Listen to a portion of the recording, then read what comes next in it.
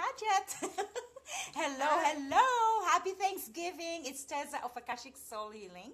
And I have here Miss Laura Davis. Say hello. Hi everyone, happy Thanksgiving. Laura Davis is uh, a Reiki healer, energy healer, and also you do oracle cards reading. I do indeed. So awesome. And she's from New Zealand. Zealand.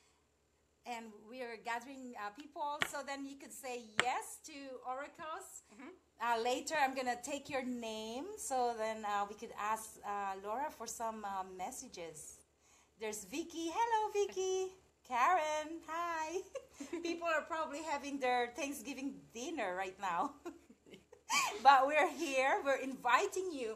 Laura's going to be at the Om Healing Community event at New Westminster Inn at the Quay on November 11 and 12. So if you live around Vancouver area, come and join us. It's mm-hmm. going to be amazing. Laura's also you're going to speak in our event. I'm just waiting for your schedule. Oh, am I? I, I sent it in the email.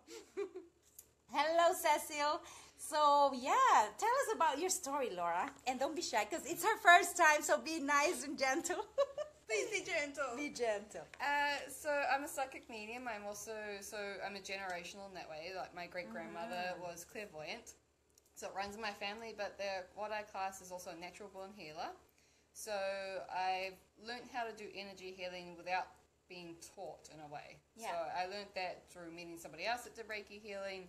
And I said, "You do this to people," and they're like, "Yes." And I knew exactly what to do. And they're like, "She's like, how do you do know how to do that?"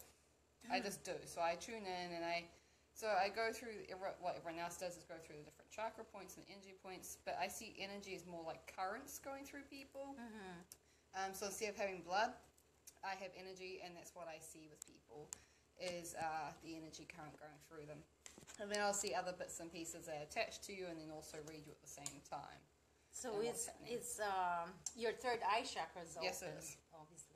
A child, were you experiencing some psychic um, ex- like uh, visions, or how Uh, did your childhood develop? I had a normal childhood compared to other people. Uh, not that that's a problem. Like everyone can